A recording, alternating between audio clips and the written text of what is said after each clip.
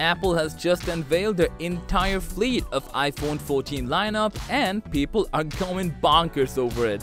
While we do admire the iPhone 14 Pro and Pro Max models, we are having a hard time figuring out why the base iPhone 14 even exists.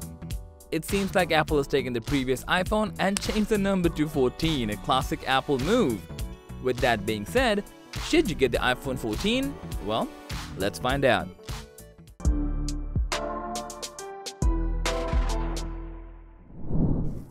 Let's say you're considering upgrading to iPhone 14. What do you get?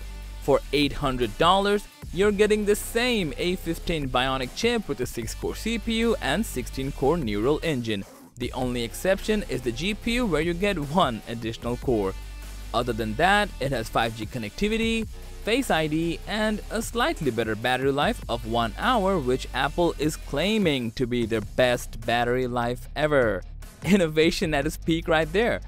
Other slight improvements include camera enhancements, optical stabilization, and satellite connectivity which you have to pay for once your trial period ends.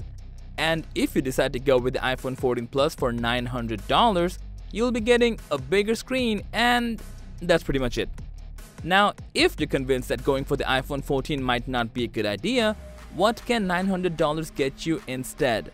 Well, followed by the iPhone 14 launches, the previous ones will be getting a discount you can get the iPhone 13 which more or less shares the same specs as the new ones or even the 13 Pro on certain sites. And if you can care less about the price, the iPhone 14 Pro and Pro Max are what you should be really aiming for. Starting at $999 and 1,099 for the Pro Max, both of these phones are loaded with features. We are talking about Retina XDR display, brand new dynamic island interface, a 48 megapixel camera, up to 29 hours of battery life, and the list goes on. It seems like Apple strategically played the part to get more people into the Pro models rather than the base iPhone 14. So that was all about Apple's iPhone 14 and why it sucks. Thanks for watching.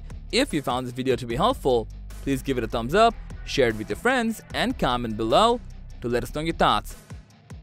Subscribe to our channel and hit the bell icon if you want to see more videos like this on your feed.